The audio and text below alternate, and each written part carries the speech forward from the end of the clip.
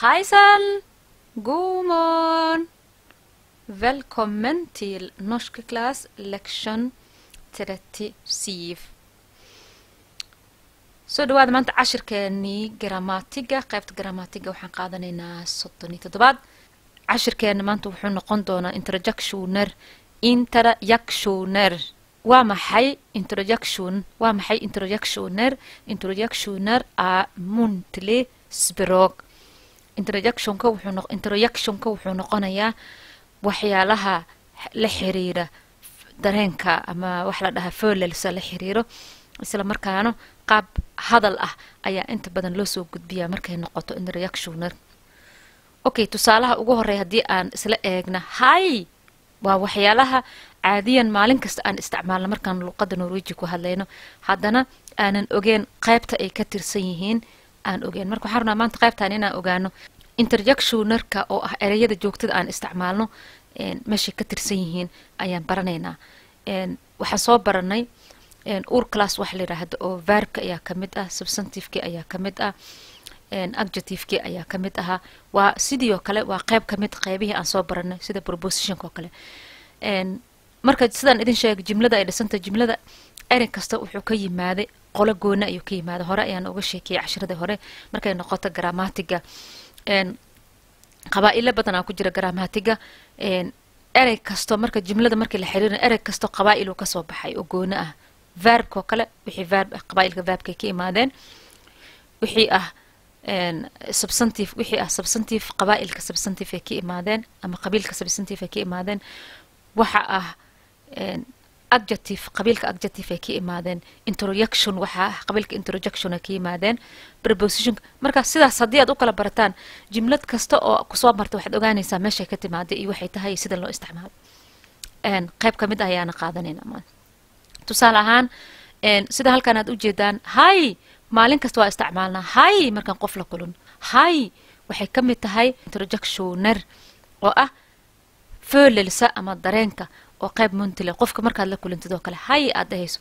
Sidee loo isticmaalaa yaad u isticmaali kartaa. Qof kasta ayaad u isticmaali kartaa ama aad dhihi kartaa markaad la kulantid. Hay aad dhihi kartaa. Okay haya haya waxaa loo isticmaalaa ama la yiraahdaa carruurta. Marka aad carruurta la kulantid ama aad carruurta la ciyaaraysa haya ama carruurta aad la kulantid oo aad salaamaysa ay ku salaamaan adoo gaari wadid ay gacmaha kuusoo taagaan haya allah haya soo marka haya haddaad maqashid waxaa loo isticmaalaa waa hay ama oo kale oo carruurta loo isticmaalo. Waana introductioner ayay ka mid tahay. Hay boday hay boday hay boday waxaa loo isticmaalaa qof aad isku fiican tihiin. Tusaale ahaan ani waa i taqaanaa saaxiibaan nahay markastoo isla kulunaa markaa ay aragtid marka waxaa dhahay hay boday dada isla shaqaysan ama kuleegaha aad tihiin oo kale markaad aragtid ee aad kulantaan hay kelima dhehaysid waxaad leedahay? Hay ayaa leedahay. Marka iyadana waxay ka tahay introductioner ayay ka tahay. Haysan haysan haysan badanaa waxaa isticmaala macalimiinta waxaa isticmaala dhaqaatiirta waxaa isticmaala dadka professionalka ah ama xafiisyadoo kale ama dowladda la shaqeeya markaad markay isla hadlaa isa haysan ay isku salaamaan soo marka badanaa hadda dhakhtar markuu meldin kuu soo diraayo ama fariin kuu soo diraayo wuxuu ku soo le wuxuu kuu soo qoraya haysan marka macalimiinta dhaqaatiirta dadka dowladda ku jira siyaasiyiinta markay is salaamayaan haysan ayay isku salaamaan ama ay isticmaalaan. Ama adiga baad dhihi kartaa dabcan. Gumon gumon gumon ereygan waa erey dadkao dhan lagu salaami kara laakiin gaar ahaan macalinka marka uu galaaska soo galaa ama ardaydiisa uu la kulmay uu salaamaya ayuu dhahaa gumon adigana asxaabtaadoo kale waad dhihi kartaa markaad la kulantid oo meel aad ugu maatid ayagoo joogaan gumon marka bawsaha la gaaro inta badan bawse room ayaa jiro dadka shaqeeya ay ku kulmaan.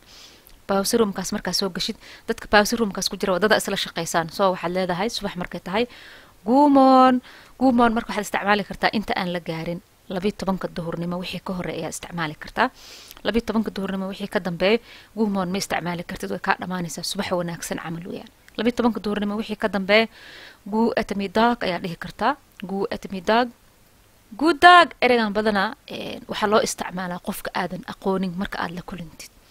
Tusaale ahaan qofaad ballan laheedeen qofkii u tagtay isma taqa isma garanaysaan markaad u tagtid hay ma dhahaysid? Waxaa leedahay good dog macnaha hay markaad dhahdid hay qof halka kaa maray camal aan dhahaa laakiin qofkan waa la kulmay soo mana taqaanid? Maanta aad iskugu kiinoorayso soo waa inaad tidhahdid good dog ama hay dog inaad dhahdid oo ku salaantid. Ayaa lagaaga baahan laakiin dog hadduu qofka ku dhaho waa qofaan ku garanaynin. Inta badan ood isku cusub tihiin googvel googvel waxaa la isticmaalaa lixda galabnimo waxay ka dambeeya ama saacadda markay tahay atn wixii ka dambeeya ayaa la isticmaalaa iyadana sidoo kale dadkao dhan waad dhihi kartaa. Ama qofka marka aad is aragtaan ama aad ka kala tegaysaanna waad dhihi kartaa. Haade camalay noqonaysaa googvel fiid wanaagsan. Ama dadkao imaad hi googvel aad dhahaysaa hi googvel labadaba waad sameyn kartaa. Dadkao dhanna waa loo isticmaalaa iyada. Laakiin waxaad ogaataan cashirka maanta aan qaadanayn waxaa waa interjection ama introjection. Mumon ga markaa dhahdid iyo oo waxaa meesha ka baxda da-di. Mumon badanaa norwejiga dumarka ayaa isticmaala gabdhaha ayaa badanaa isticmaalaan mumon ay ku markay kula kulmaan. Waxaa loo isticmaalaa qoyskaada sida caruurtaada oo kale subaxii markaad caruurtaada habeenkii aad kala qol seexataan ayaad isku imaataan. Hay mumon aa las dhahaa mumon ama xaaskaada oo kale markaad la kulantid oo kale. Mumon aa leedahay. Waana familka dhexdiisa loo isticmaalaa iyo dabcan iskuulka iyo macalimiinta way isticmaalaan dadka a wada shaqaysaan way ku dhahaayaan laakiin markay noqoto meelaha ay ku fiican tahay qoyska iyo familka asxaabta isleh ee isku dhudhow ayaa badanaa isku salaanto subaxii markay tahay.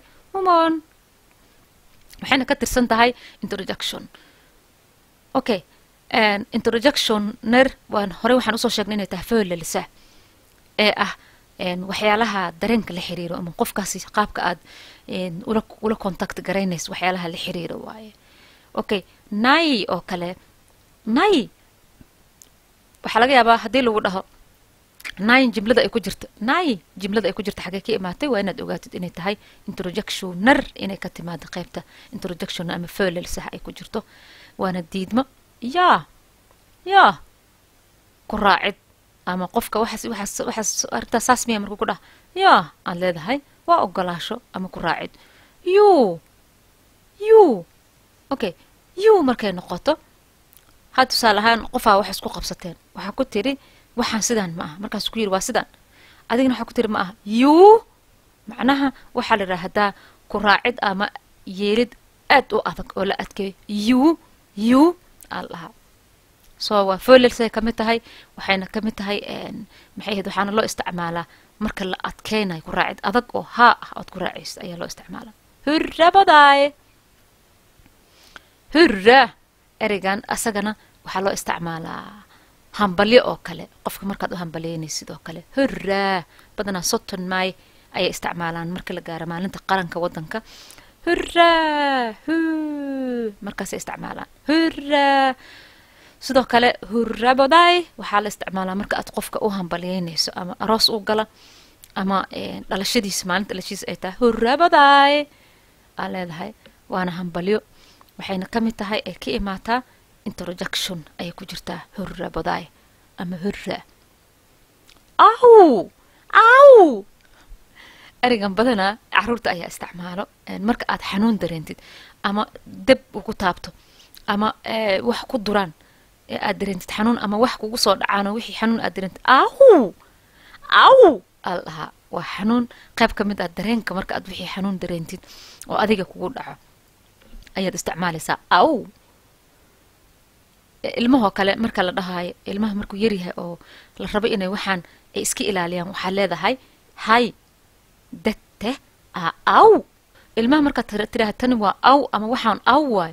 Way ogyihiin waxaan waa xanuun way ka carareen ma taabanaya. Soo waxaa loo isticmaalaa xanuunka waana waxay ka mid tahay introjection.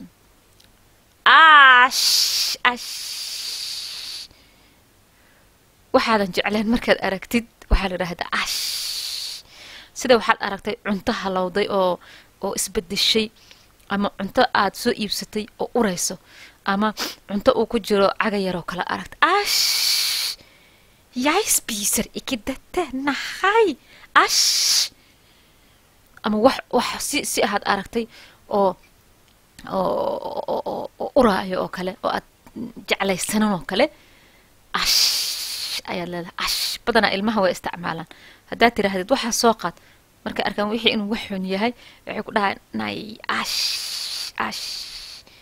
So ash waxay ka mid tahay introjection hish hish hish. Ereygan markii iigu horreysay macalimadeena markaan dhiganayn voxon blaring dad badan waxay isla dhiganayn ajnabi carab u badan oo hadal badan maanta hore way daldalmaayaan markay galaas soo gasha macalimada lama maqlaayo markaas waxay dhahdaa hish! Hish! Waxaan dhihi jiray hishtaan ay wado maxay ahayd? Ilaan waa aamusin. Waa marka buuq aad aad ku dhex jirtid ama aad rabtid in lagu dhageysto ee dadka ay ku maqlaan. Waxaad leedahay hish! Hish! Aamus waay. Aamus ama aamus. Hish! Hish! Aamus. Ayaa la yidhaahdaa loo isticmaalaa marka aad wax aamusinaysid waaye isla markaana ereygan wuxuu ka yimid introjection. If iftaa ama if. Ereygan marka ay qof wax ku dhacaan ee aad aragtid qofka wax ku dhacay inay xanuun leeyihiin oo kale ama qofa isla socoteen ayaa kufay ama qofa isla socoteen ayaa wax ku soo dhaceen. Aw markuu dhahay inuu xanuunsan marka arto if leed if if waa la soo gaabay double f y ama ifdaa ifdaa way noqon kartaa oo halka i markay noqoto if daa ee waxaa gadaal ka raaci karto dee ee dee a a gadaal ka raaci karto ifdaa sidoo kale ereygan if waxaa loo isticmaalaa marka qof u dhintoo kale ama tacsidoo kale kunduleerar ayaa la kuntul kunduleerar tacsidoo kale marka qofka qof ka dhinto ee aad isla shaqaysaan ama qofka aad u tacsiinayso waxaad leedahay kunduleerar jag vet det är ju ont kunduleerar. Macnaha qofkii waxaad dareensiinaysaa in qof inuu qofkii ka dhinta ay xanuun badan tahay sidaa darteed if ayaa dareensiinaysaa qofkii inuu xanuun ku dhacay. Oo aad dareensiinaysa inaad tiraahdo oo haddii qofka aad tiraahdid ha tusaalaan qofka markuu wax ku dhaca waa ka xumahay waxa kugu dhacay oo kale ayay u dhigantaa. Soo tacsidana waa loo isticmaali karaa sidii kale erey caadina waa loo isticmaali karaa. Ereyadaasi ama inaad fahanteen ujeedada iyo waxaan u keenay in aad ogaataan meelahay ka tirsan yihiin sida loo isticmaali karo waqtiga la isticmaali karo. Maxay ahayd qeyb maanta waxaan baranay qeyb ka mid ah grammatiga oo la yiraahdo introductioner ereyada loo isticmaalo qaab muntili ah ama hadal ah loo isticmaalo.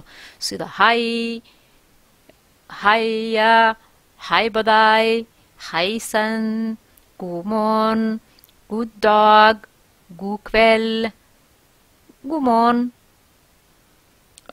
iyo sidoo kale qaybta oo hadallada markaasi ficilka aad samaynaysa la xiriiro sida nay ya yu hurra baday au ash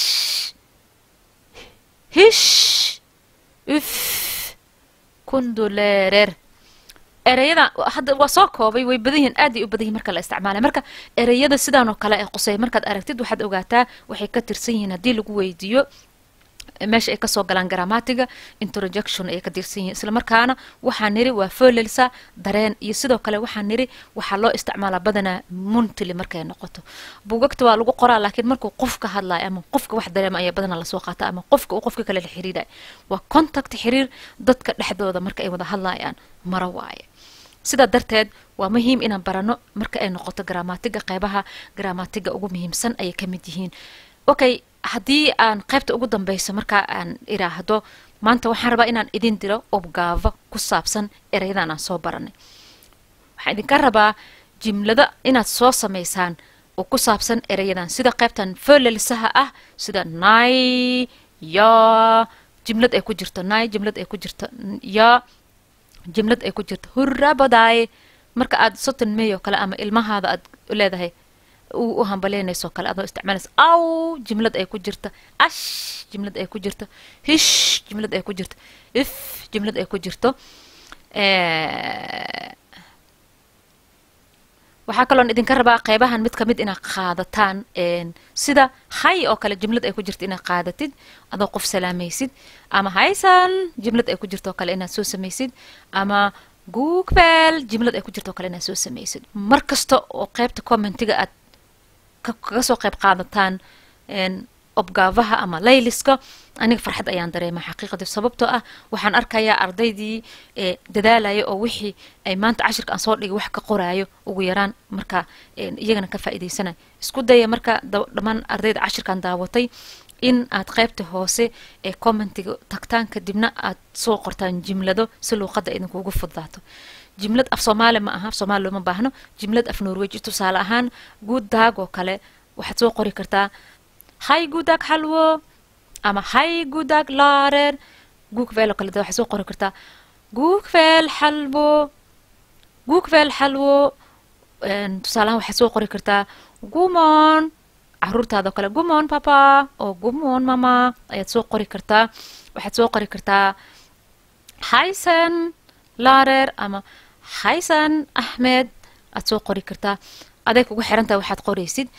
Qaybta kale haddii aad fuularsahay noqoto haddii qaybtaa noqotoba cashrada maanta aan qaadan isku dayo in aad ka soo shaqaysaan layliska ee aad soo qortaan jimlo idinkoo markaa isticmaalaya ereyada maanta aan baranay.